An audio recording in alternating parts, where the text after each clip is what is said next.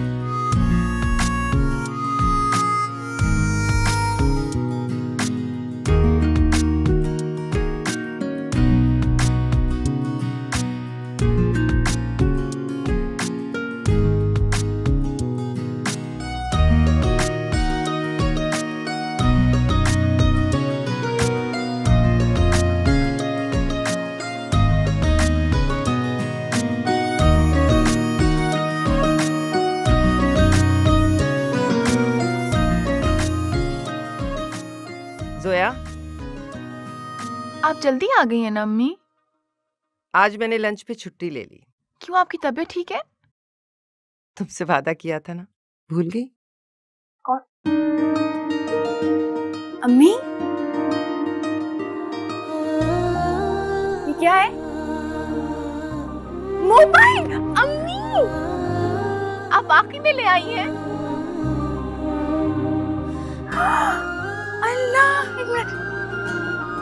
खुश हो ना? हाँ। नाराज़ तो नहीं हो ना मुझसे? नहीं अम्मी मैं आपसे कभी नाराज़ हो सकती हूँ। बल्कि अम्मी आप तो मुझसे नाराज़ नहीं है मैंने सुबह नहीं बिल्कुल भी नहीं। लेकिन देखो अब सिर्फ़ इसमें ना लगी रहना। अपनी पढ़ाई पर पूरा ध्यान देना। तुम्हें बहुत पढ़ना है जोया। और पढ़ लिख कर एक बड़ा आदमी बनना। सुन रही हो? हाँ हाँ मैं सुन रही हूँ अम्मी आप बेफिक्र हो मैं नहीं यूज़ करूँगी लेकिन देखिए कैमरा अम्मी एक पिक्चर प्लीज़ अम्मी।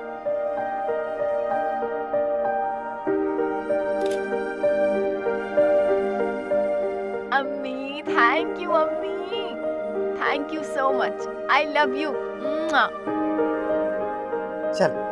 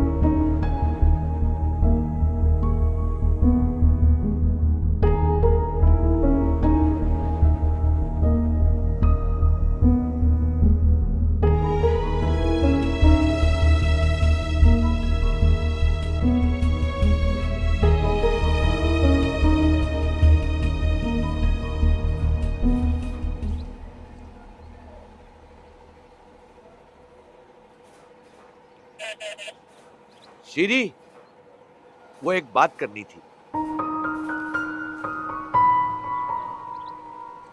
वो आपसे एक ज़रूरी बात करनी थी। जी कहिए मैं सुन रही हूँ।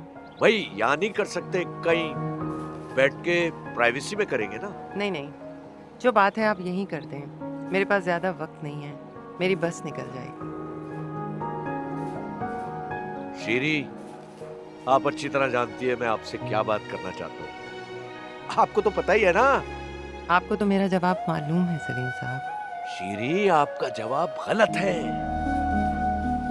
जरा ठंडे दिल से सोचे ना और यकीन जानिए मैं आपको बहुत खुश रखूँगा। किसी किस्म की कोई शिकायत का मौका नहीं दूँगा। नहीं सलीम साहब मैं एक जवान बेटी की माँ हूँ। मेरी तो सारी खुशियाँ अब उसी के दम से हैं। शीरीन वो तो ठीक है लेकिन आप खुद भी तो हैं आपकी अपनी भी तो ज़िंदगी है।